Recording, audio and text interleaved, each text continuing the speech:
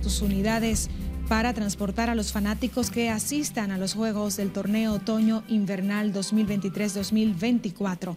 Los autobuses que darán el servicio estarán disponibles tanto en el Estadio Quisqueya Juan Marichal como en el Estadio Cibao durante el torneo que se desarrolla en el país desde este jueves 19 de octubre. En un comunicado de prensa, la entidad explica que este servicio especial se hace considerando el propósito por el cual fue creado la ONSA de dar un servicio de transporte a la ciudadanía de forma eficaz, eficiente y seguro a un costo asequible.